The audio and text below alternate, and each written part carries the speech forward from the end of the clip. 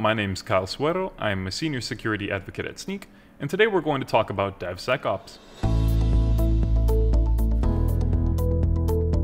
In this video we're going to cover three things. What is DevSecOps, the difference between DevOps and DevSecOps, and the benefits of DevSecOps. So your first question might be, what is DevSecOps? Well, in simple terms, DevSecOps refers to the integration of security practices and tooling into a DevOps software delivery model. So, DevSecOps is essentially the practice of merging development, operations, and security practices together instead of treating them as separate disciplines. So, similar to how DevOps combines development and operations to help you build and ship software quicker, basically, DevSecOps is the practice of using tooling, techniques, and culture to help you develop and deploy secure software. So, this is a huge, huge benefit. This is changing the way that we apply security requirements to software. The definition of DevSecOps is to integrate security objectives as early as possible into the lifecycle of software development. Integrating another practice into the SDLC at the beginning follows the shift left paradigm, meaning that you're adding a new element to your process all the way at the left or the beginning rather than adding it at the right or the end. So essentially, we're going to now uh, dive into the difference between DevOps and DevSecOps. So the difference is basically the culture of shared responsibility in regards to security. The DevOps model ensured both the integrity of the delivered product and the effectiveness of the underlying operations. DevSecOps differs, however, in the sense that it expands DevOps and includes security objectives inside. Basically, DevSecOps infuses security practices into fast feedback software delivery and organizational culture.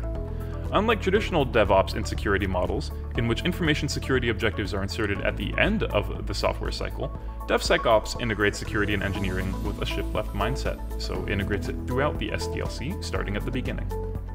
DevSecOps is a movement that harnesses DevOps' power, bringing security practices into the fold. Activities designed to identify and ideally solve security issues are injected early into the lifecycle of application development rather than after a product is released. This is accomplished by enabling development teams to perform many security tasks independently within the software development lifecycle, or SDLC as we call it. This shift in how secure development takes place has profoundly affected the ease of remediating security vulnerabilities. Finding vulnerabilities earlier in the software development lifecycle is better than the alternative. The adoption of DevSecOps has been swift in high output environments. So essentially, where code's being released all the time, where there is a robust DevOps model, there's been a swift adoption of DevSecOps. Minimizing vulnerabilities in production is one of the many advantages of the DevSecOps model. An even greater advantage, or perhaps the biggest reason to adopt a DevSecOps mindset, is digital transformation. Digital transformation has become a requirement for almost all enterprises. Such transformations include three significant motions more software, cloud technologies, and DevOps methodologies. Since the evolution of DevOps has enabled whole infrastructures to be spun up or spun down with the click of a button or the stroke of a key press, the security guardrails that have made their way to the SDLC for application code should operate on infrastructure code as well. Naturally, expanding the safeguards that we utilize in application code to cloud and infra code makes a lot of sense, since the way that these folks work is ultimately very similar. With the code press or code change, there's a significant impact on applications or infrastructure. So obviously you'd want to scan um, infra and cloud code just like you're scanning application code. Now that we understand how important DevSecOps is, let's talk about six benefits you'll see with DevSecOps in practice. 1. Faster delivery. The speed of software delivery is improved when security is integrated into the pipeline. Bugs are identified and fixed before deployment, allowing developers to focus on their priorities, like shipping features. 2. Improved security posture. Security is included as a feature from the design phase onwards. A shared responsibility model ensures that security is tightly integrated from building and deploying to securing production workloads. 3. Reduce costs. Identifying vulnerabilities and bugs before deploying results in an exponential reduction in risks and operational cost. So the further left in the process we identify vulnerabilities, effectively the cheaper it is, right? The less the less time we're wasting as well. We'll get to that actually. So four, enhancing the value of DevOps.